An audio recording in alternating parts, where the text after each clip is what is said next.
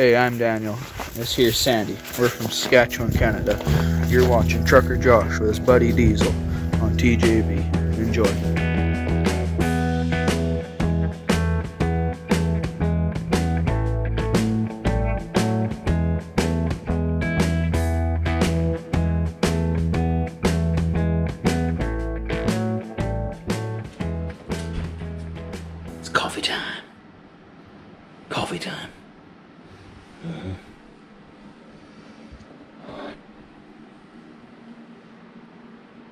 Morning.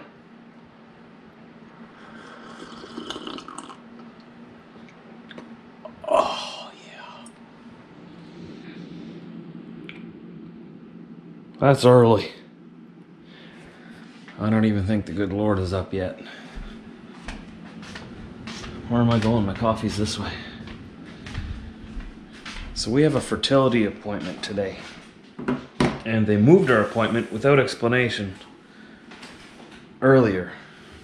And we have to drive almost two hours with traffic to get there. So our appointment was for 9.30 in the morning, I think, which was already kind of, you know, that's about as early as we wanted it. You know, we have to leave here at 7.30. That seems like a good time. And they called yesterday, and apparently either they double booked or someone just, you know, came in that was more important than us, more importanter, and bumped us and took our 9:30 and then they gave us 8:15. So now we've got to leave at 6:15. Well, before 6:30. It's 6:15 right now. So we got to leave now. But we need our coffee first. That's okay. We still get to see the doctor today. We just don't we were kind of put off about why they would change our appointment time and not give us any explanation. But here we are. It's time. There's the woman of the hour. Time. You don't have much for lighting in here. No, it's too early for Yeah. that stuff. Oh, there you go. Oh, could you guys not see me before? Oh, why did you? There. I'm only half awake. I haven't had. I've only had half a coffee. Hello. The woman of the hour. It's me. What this whole day is about. Oh, I can't make a baby alone. It's true. I do help. So uh, yeah, today we got to. Uh, uh, we're going in for our uh, IUI course No, it's a counseling counseling meeting. meeting thing. I think they're just explaining what it really entails and making us sign consent before they Yeah. turkey well, base me. you specifically. She's she.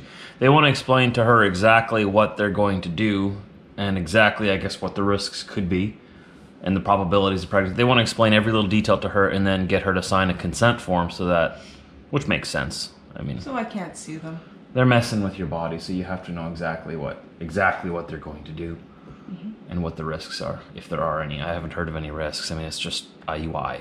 It's not like it's I, IVF. That's a little bit more of a invasive procedure. I think they're about the same with invasiveness. It's just that it's a different process because, oh yeah, I guess because they remove your eggs first with IVF, whereas they Mm-hmm. don't have to remove my eggs with this procedure. So we're not going in for the procedure today. We're just going in for that consent and the course today to teach us what it's all about and make sure that it's what we want to do. And we already know it's what we want to do. So uh, it's not going to happen today, but probably next month. I'm guessing we're going to make an appointment for as soon as possible. And pretty much what this is is uh, to put it in simple terms, it's the elevator ride I was telling you about. It just takes all all my guys and just you know they, they usually have to take the stairs so the doctors are just going to put them in the elevator and give them an elevator ride to the top instead They're a little lazy. They're truckers. they're professional sitters like me yeah so uh that's that we got to go into winnipeg Hopefully it goes smoothly. Almost failed. almost fell Almost. Careful. Pure ice on that curb. youtube will be very upset if we fall and hurt ourselves Not as upset as I would be. So uh, we're here in Winnipeg. We just parked, so we went to go see the good doctor. It looks like the IUI will probably be early next month. Uh, but I've got to be home right on the right day. Because as soon as we get the go ahead that uh, she's ready, we got to go in the next day. So I've got to be home then. It's not supposed to be as painful as my HSG x-ray. but there is a high risk of tubal pregnancy because I'm releasing so many eggs right now. Yeah, so uh, we went through all the risks and everything. I had to sign the consent form and uh, see where where it goes from here. Maybe next, maybe next month. First, we have to go into the clinic here and do some more blood tests for Brit. Gotta go check my thyroid levels because I've got hypothyroid. Very That's- mild hypothyroid. Very but mild. Still, I'm a mess. the only thing that's good about me is my fertility, and unfortunately, that's the only thing Josh has got wrong with him. Yeah. well, like I said, I got plenty of players. Maybe I shouldn't call them players. I got plenty of guys. Plenty of guys, but they're a little lazy. So they just need to take an elevator to the top. They don't want to climb the stairs as well. I need a new compass too. Yeah. But of course today is the first really cold day of the year. It was about minus 27 when we woke up. I think it was colder than that because we left an hour after we woke up, and that's when we checked the temperature. It was about minus 30 this morning. Well, they didn't take all our blood. Still left just enough in there for us. We're back at Steinbach. We're going through the, the car wash because this, this vehicle is filthy. Because he was driving it. It was filthy when I got into it. So uh, we're getting the car wash here. Got to run a few errands around town, and then we got to run home and try to get my truck started. Still minus 24 when we got back to town here. My, my block heater was plugged in all night and all morning, so it should should start. The batteries don't like being cold all the time, though. Gotta move ahead here. They're moving us home.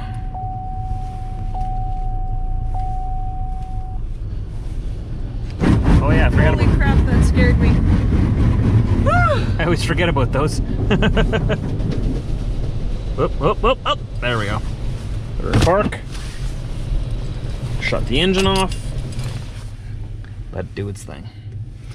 So yeah, the the batteries don't always like uh, being cold. They don't always have full charge, so I may have to charge them up a little bit today, yet this afternoon before I get it going. But we Which should be able to get the truck going. Which means I get to keep him longer. Mm-hmm. I should be able to get it going. The truck's always been good, and I have all the stuff I need for any problems that could arise. How about Diesel? Does Diesel have a parka? Does Diesel have a parka? Does Diesel have booties? Does Diesel have a toque? No, then you should just leave him home with me. well, what about me? It's too dangerous for him. Got to protect our children. What about me though? You've got toques. You've got plenty. Got a whole bag of them up in the closet at home. I do have a, a big inventory of toques. I even threw some out. Did you? You A threw my toques out? They were really gross and like stained and like they were sitting in a box for years, so they were like moldy and full of gunk. And I just I wasn't gonna wash them. You gotta watch this one. She'll take your stuff when you're gone. She'll throw it out. Only if it's gross stuff. Nothing useful or in good shape. My mom does the same thing. I have to start locking my stuff up, locking up all my clothes and stuff. I always get you new stuff. That's true. I have a I have a pretty big wardrobe. I have lots of clothes. Probably got more clothes than her. More that fit you anyway. Well, I washed the truck, remember, before I parked it, and I thought I had de-iced the locks. Turns out in minus 30, they, they, they froze solid again anyway. We don't have any de-icer, but I have my wife's hair dryer.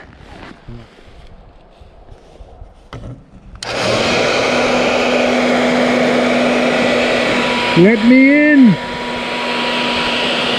Let me in! I want to get in! Nice. Nice. Oh, oh, now the door's frozen shut. Oh, there we go. Whew, thanks. See if she starts. Oh, neutral's not detected. We're not in neutral. Of course we're not. Oh, why did I leave in gear? Here we go. Come on, girl. Nope. Okay, we're gonna have to give those batteries some extra juice. So the batteries are pretty much on their last legs. I'm replacing them next month. They do hold a charge, but if you leave the truck sitting, the charge only lasts about a few days maybe and uh, there's nothing drawing from it because I turn it off it's just the cold weather isn't helping so we go into our garage get some extra juice. Oh it's nice and warm in here. Right on. Oh we washed the terrain in town. So I just turned the heat up in here a little bit to dry it all off. And so it doesn't do the same thing. All right here's our power. Going to hook this up for about half hour to 60 minutes at uh, 40 amps on 12 volt. Half hour should do it, but it might take an hour. Depends, it's really cold out, so it needs a lot of juice. So while I'm getting ready to leave on my trip, I'll let this charge. I have to do this pretty much every time in the winter. It's, it's a pain. Even with brand new batteries, this cold weather, minus 30, with the wind chill, like with the wind chill, it's feeling close to minus 35, maybe minus 40. It's, it's cold, nothing wants to move, and that truck's been sitting there all weekend. It doesn't want to wake up. So uh, it's, it's, it's pretty normal. It's not out of the ordinary for this to happen. That's why I have this on hand. But those batteries do need to be replaced, and I do have a plan for that. So this is where the batteries are on Volvos. I have four of them in here, and they all need to be replaced they're doing all right now. They're just definitely, definitely on their way out. You know, I can wait another month. Let's just hold this with the other hand. Connect this. So you connect the positive to one side over here. They're all connected. Negative over here. Just got to plug this in and uh, fire her up. And oops, my glove was getting in your way there, but and we wait. All right, we're gonna go try to start this thing up again.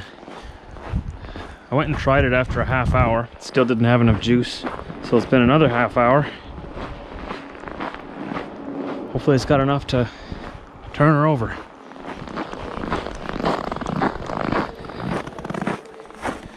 All right, so we're gonna set these stairs up here. Like this. So I can step up there. Make sure it's locked in there that. Well, that's in there. Let's see. Okay. Do its cycle.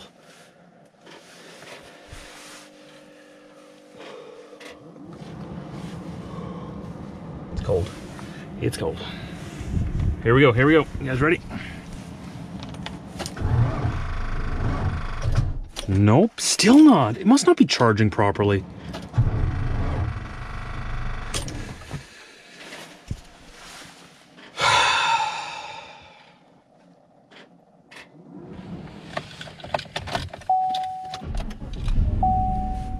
Old Chevy to the rescue.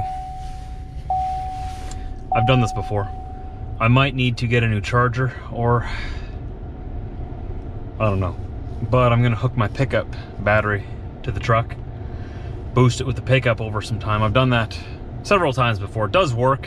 It uh, doesn't always go quickly, but that charger doesn't seem to be charging. So we're gonna try this.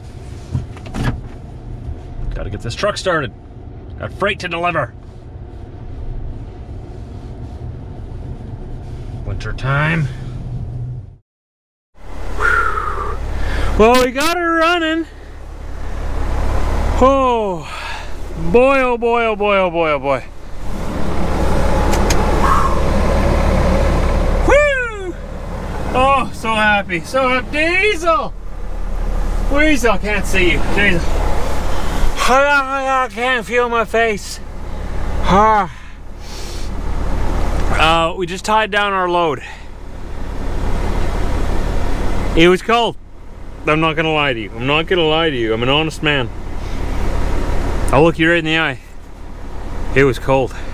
You wanna see it? It's pretty simple, thank God. Let's go take a look at it. So there she was. That's our load. A load of lumber going down to Iowa.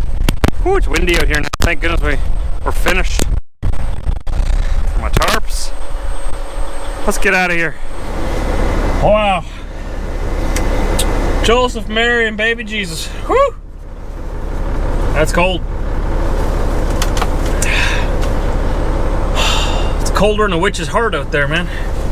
That's not the saying either. Oh, oh, oh, wipers, calm down, calm down. That's not the saying, but it's colder than a witch's heart out here. It's colder than a witch's something else, too. Let's get out of here. Okay, you know what, actually? Let's take, I'm not gonna need my steel toes now because I'm leaving the yard. Let's take those off. I have different driving shoes. They're not as clunky as my, they're, uh, these. They're not as clunky as my big uh, steel toes. But it took all day. I got the truck running at 4.30 in the afternoon. It was pretty much already dark. And now the time is 7 o'clock. So we came all the way out here uh, and picked up the trailer where it was waiting for us.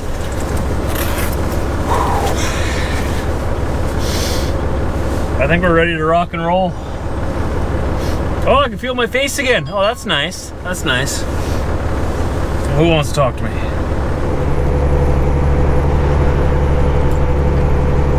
Somebody's in a hurry. I wish I could do that. You know? Turn on the beacons and give her. So we're here in North Dakota. That was the North Dakota State Police. They're in a hurry to get somewhere.